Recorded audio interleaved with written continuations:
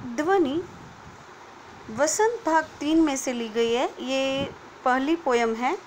ध्वनि, उसके जो कवि है सूर्यकांत त्रिपाठी। सूर्यकांत त्रिपाठी, उसको निराला जी भी कहते हैं, उसका उपनाम दिया गया है निराला जी। निराला जी ने हमें अपने छायावादी कवि होने के कारण उसकी कविताओं पर हमें प्रकृति लक्ष्य कविता वो ज़्यादा लिखी है। छायावादी का मतलब होता है प्रकृति लक्ष्य। कविताएँ सूर्यकांत त्रिपाठी हमारे सर्वश्रेष्ठ कवियों में से माने गए हैं। सूर्यकांत जी के जीवन में हमेशा उतार चढ़ाव आए हैं। सूर्यकांत त्रिपाठी का, जी का जीवन पहले अपने माता पिता की मृत्यु, बाद में अपने माता पिता की मृत्यु के बाद उसके पत्नी की मृत्यु हुई, एक के एक के बाद एक। उसके जीवन में दुख आते ही गए हैं।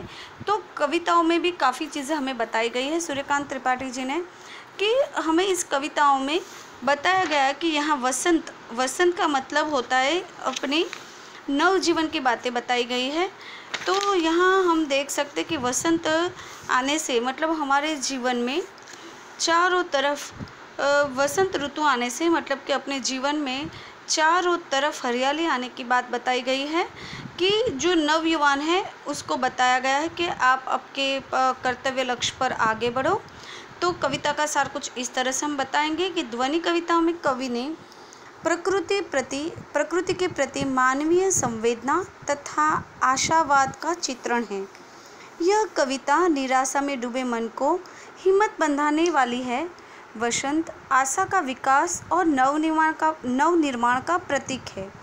कवि कहता है अभी अभी तो उसके जीवन में वसंत आता है। इसलिए अभी उसके जीवन का अंत नहीं हो सकता। वसंत आते ही प्रकृति में सर्वत्र सुंदरता छा जाती है। प्रकृति हरी भरी हो जाती है। डालियाँ, कलियाँ लद जाती है। कवि का जीवन भी वसंत का आगमन से बादल, बदल गया है। वह नींद में से डूबी अलसाइयों और कलियों को जगाना चाहते हैं। वह नई पीढ़ियों का नव निर्माण करना चाहते हैं, विकास करना चाहते हैं।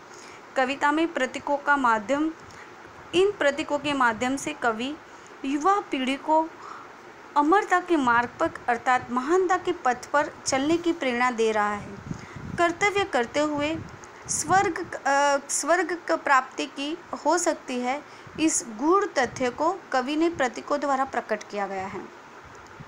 तो काव्यांश की विस्तृत व्याख्या हम देखेंगे। अभी न होगा मेरा अंत, अभी अभी ही तो हूँ, आया हूँ। मेरे वन में मृदुल वसंत, अभी न होगा मेरा अंत, हरे हरे है ये पात। यहाँ मृदुल का मतलब होता है कोमल, सॉफ्ट, पात मतलब पत्ते लेव्स गात मतलब शरीर एंड स्वप्न मतलब सपना, कर मतलब हाथ एंड फेरूँगा मतलब फिराऊँगा छू लूँगा एंड निंद्रित मतलब सोई हुई। और हम देख सकते जगह जगह कर, सोए सोए से उठाकर, प्रत्युष मतलब प्रातः सवेरा। प्रत्युष का मतलब होता है प्रातः सवेरा। मनोहर मतलब मन को हर लेने वाला, लुभाने वाला। तो हम देख सकते हैं कि अभी अभी ना होगा मेरा अंत अभी अभी तो मैं आया हूँ। मेरे वन में मृदुल वसंत, अभी न होगा मेरा अंत। हरे हरे ये पात। कवि यहाँ ऐसे बोल रहे हैं कि मेरा अंत अभी नहीं होने वाला है। अभी तो मुझे नव युवानी में काफ़ी कार्य करने हैं।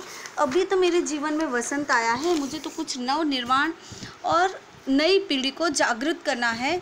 नई नई पत्तियाँ वसंत में जैसे आती है, वैसे मुझे नव नव निर्माण के लिए नव युवानों को सोए हुए निंद्रित कलियों में से उसको जगाना है मतलब उसके आलस्य त्याज कर उससे कर्तव्यनिष्ठ बनाने का काम मेरा है। इस कविता में युवा पीढ़ियों को संबोधित करते हुए कवि यह कहना चाहते हैं, कवि अपने जीवन में वसंत के शुभ शुभ आगमन से उत्साहित एवं प्रफुल्लित है। जिस प्रकार शीत ऋतु, तुषारपात के उपरांत प्रकृति में वसंत के आने से चतुर्विद विकास और उल्लास का वातावरण हो जाता है। उसी प्रकार जीवन निर्माण में युवा अवस्था का विशेष भाग है। और हम देख सकते हैं, कवि कोमल शरीर वाले युवाओं को स्वप्न में जगाता चाहता है। वह नींद तथा आलस्य में पड़े युवानों को कर्तव्य पथ पर चलने के लिए प्रेम और स्नेह की उद्बोधित कर रहा है। वसंत की वेला में विकास का उल्लास और नव निर्माण के लिए कवि स्वयं तो उत्सुक है ही, पर युवा पीढ़ियों को भी उत्सुक बना रहे हैं। इस कविता में युवा पीढ़ियों को संबोधित करते हुए कहते हैं कि आपको क्या कहते हैं कि जो कोमल शरीर वाले युवा हो, आप स्वप्न में से जागना चाहते हो, वो नींद तथा नींद तथा आलस्य को डूबे हुए युवाओं को कर्तव्य पथ पर आगे बढ़ाना चाहते हैं। तो इस तरह से हमें कवि कहते हैं कि अभी ना होगा मेरा अंत। तो यहाँ हमें निराला जी ने अपने मन के भाव कविता द्वारा प्रकट किए गए हैं।